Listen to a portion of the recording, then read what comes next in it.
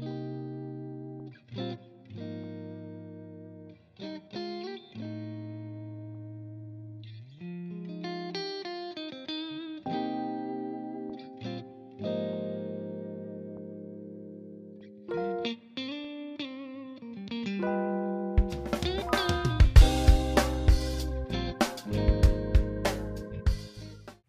Welcome to another edition of Cannabis Conversations. I'm Martin Lee with Project CBD, and today we are privileged to have with us in the studio Dr. Rachel Knox, who is uh, the co founder of the Can American Cannabinoid Clinics, with other members of your family who are also physicians. Um, also, you're the chairwoman of the Oregon Cannabis Commission. Correct. So That's glad it. you can join us. Thanks for uh, having me. I wanted to ask you about um, something you've been lecturing about to various audiences. Uh, you refer to endocannabinology. Yeah. Maybe you can tell us what is endocannabinology? Yeah. So in medicine, we, we, we silo our fields into ologies, really. So people are familiar with cardiology and endocrinology, um, neurology. And really what we mean is the study of the function and dysfunction of those systems. So in cannabis medicine, the focus for a long time has been on the cannabis. But people come to us with physical conditions, and we doctors are trained to treat the patient. So, what we're really treating is the endocannabinoid system when we're assessing different disease processes or symptoms. And so, it made sense to, to me and my family at the American Cannabinoid Clinics to call ourselves endocannabinologists who practice endocannabinology. And we use cannabis, which is probably, as far as we know, the most versatile tool that works on that system, but uh, along with lots of other things that help us treat that system. So, endocannabinology means the study of the function and dysfunction of the endocannabinoid system and all the ways we can modulate it. Well, let's talk about the endocannabinoid system for a moment. Uh, what, what is its purpose? How do you break it down in terms of its components? Yeah, as far as we know, right? Because there's still so much more to know. But our understanding is that the endocannabinoid system is the maestro to the symphony that is every physiological system in the human body. And its role is to keep us in balance, to keep us healthy. So, a perfectly functioning and in tune endocannabinoid system keeps us in perfect health. Um, but the reality is that we're, we're inundated with toxic you know, environments and emotional and physical stress and poor foods and I mean, you name it. This endocannabinoid system of ours is having to battle a lot of insults um, today. And it's really hard for it to keep us in balance, which is why so many people are struggling with so many diseases. But again, its role is to keep us in balance, and it does that through a very intricate feedback loop, right? Because it's it's constantly in flux, it's constantly adapting and reacting to everything that we're throwing at it, and so it has to work in sort of a feedback system, right, in response to what we're throwing at it. And for a long time, we've talked about the endocannabinoid system in four components, or we talk about the four components of it. Uh, the first components were discovered between 1988 and 92, and those were the CB1 and CB2 receptors. Um, mixed in there was the first endocannabinoid or endogenous cannabinoid, cannabinoid made in our body, anandamide, shortly followed by 2AG. So we have the, the cannabinoids that work on those cannabinoid receptors, like a, a lock and a key. And then we have the enzymes that create those endocannabinoids on demand when they're needed, again, right? Constantly responding to stimuli. And we have the enzymes that break those cannabinoids down when they're no longer needed. It is a system that runs uh, all by itself. We call it auto-regulatory, and it works when it's needed, on demand, in response to, again, what we're doing to it. So, so why do, if, if we have the system and it's working all the time, why do we need cannabis then? Because I, I, I, mentioned the things that we're doing to ourselves in today's age, right? We talk about inflammation as the root cause of disease, um, and, and that's true. We're causing inflammation, but the endocannabinoid system is immunomodulating. It's, it's supposed to keep inflammation in check. It can't do that when we're constantly eating inflammatory foods, when we're constantly under stress, right? Um, the endocannabinoid system works like this, right? So if a cell is sending um, signals of pain or, or stress or inflammation to each other, well, the receiving cell is supposed to create an endocannabinoid that it shoots back to the, the cell sending that signal to turn it off to restore balance and harmony. Unfortunately, we're getting in our own way in some respects, right? Um, the system is being overwhelmed and overloaded with constant signals of stress, pain, inflammation. It's very difficult under those conditions for it to properly make these endocannabinoids. One, we need to eat omega 3 and omega 6 fatty acids to even make these cannabinoids. So, a lot of us are, are, are deficient in the foods that are essential to even create these endocannabinoids, and we're working at a deficiency, right? So, that comes, or there comes in uh, a very good place for phytocannabinoids. So THC, right, it's been around for a long time in, in our colloquial world around cannabis. THC is an anandamide mimicker, right? Anandamide was that first endocannabinoid that was discovered. Well, THC mimics it. So if we're having trouble developing anandamide, it makes sense to supplement with THC for it to take the place of anandamide and help restore some of that function by working on those cells that are constantly sending those signals of pain, stress, and inflammation. So it's kind of like in conventional medicine where we might recommend a supplement to a patient, right? If you're deficient in vitamin D, well, we give you exogenous vitamin D, you take it in a pill form. Using THC in that way to supplement anandamide is no different than what we already do in the conventional world. Mm-hmm. And it would be similar for CBD, cannabidiol, the, the non toxic, or you should say non intoxicating, because cannabinoids are yeah. not toxic. Um, how does CBD play into this? Well, Similarly, right, in general, THC and CBD have a lot of overlapping downstream effects. But CBD does not mimic our anandamide or 2-AG. Um, CBD does something very special with respect to THC um, and anandamide. And what that does, uh, it, it blocks the breakdown of anandamide.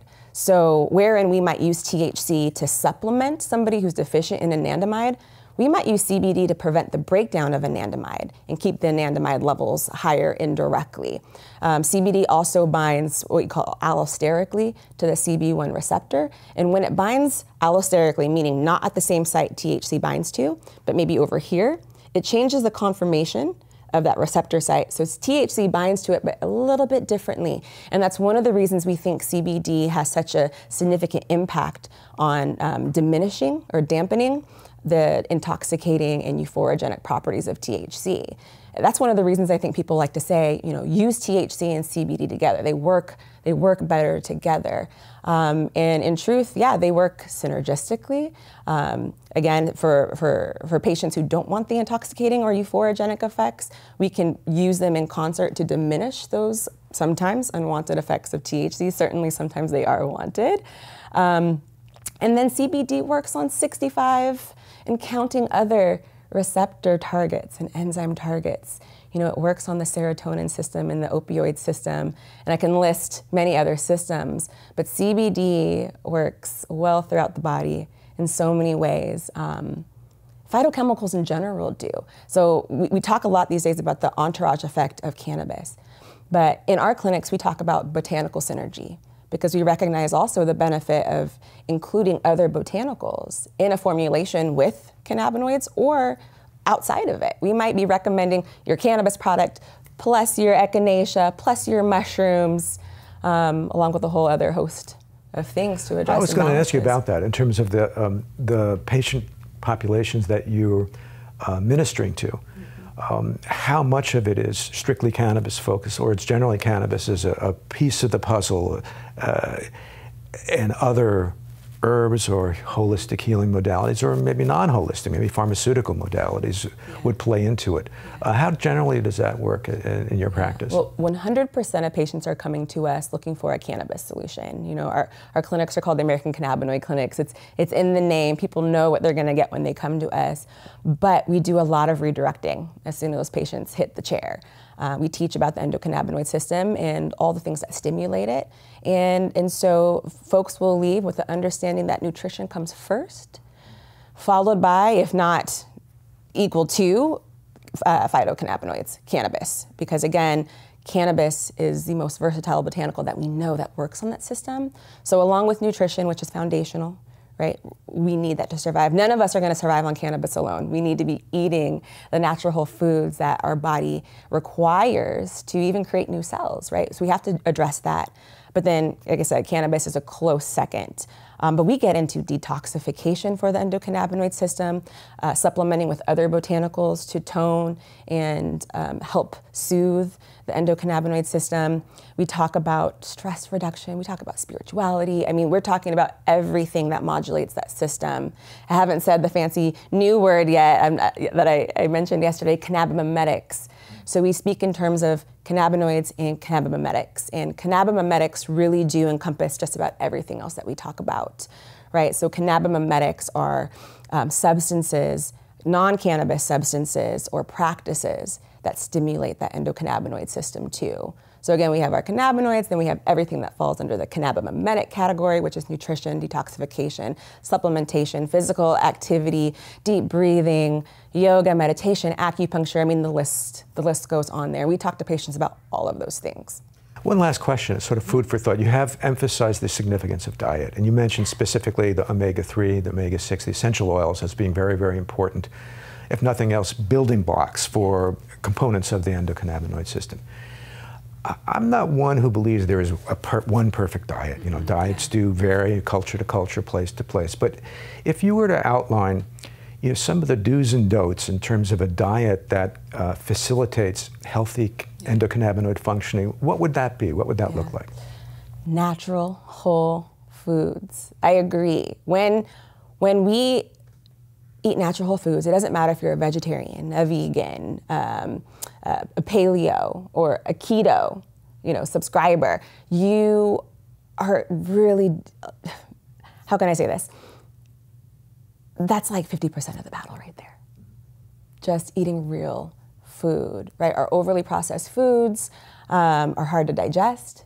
You know, you can make the case of using digestive enzymes to help us digest these overly processed foods, but the fact of the matter is these chemicals and preservatives are really hard to break down. And for the most part, we're not getting the nutritional benefit from a lot of these processed foods because we just can't break them down. We don't have the capacity, the capability to break those things down.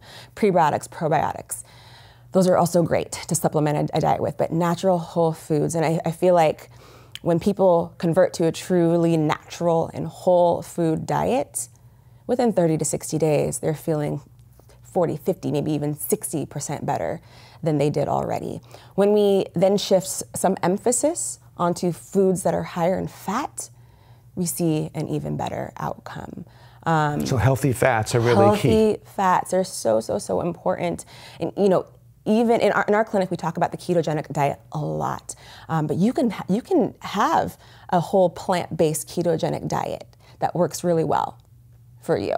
Um, and then you can have what we call a traditional ketogenic diet, where you are eating protein from meat sources and do really well. For us, the emphasis is on getting that fat, yeah, high quality fats. Um, some really great high quality fats are top hemp seed oil, right? Um, olive oil, coconut oil, avocado oil, those are all really great um, to use daily. Uh, you know, I typically recommend getting five to seven to, if you're a woman, and six to nine tablespoons of a high quality fat every single day. You know, the preferred fuel of all of our cells is fat. Out of fat comes our omegas that we need for uh, the basic building blocks for anandamide and 2-AG and our secondary endocannabinoids by consuming a low fat diet, even if it's natural and whole in nature, um, we, we are still behind the eight ball. So, natural whole foods, step one. Step two, begin to increase your healthy fat consumption. And that to me is a diet for, uh, or a recipe for uh, modulating the endocannabinoid system. So I think a take-home message, uh, uh, what I'm hearing from you is that cannabis is very important in terms of a healing modality, but it really works best in conjunction with healthy diet, healthy Absolutely. lifestyle. And I think that's a good note to end yeah. on. And I appreciate very much your, your insights and sharing that with us, Dr. Rachel Knox. And that's been another edition of Cannabis Conversations. Thank you.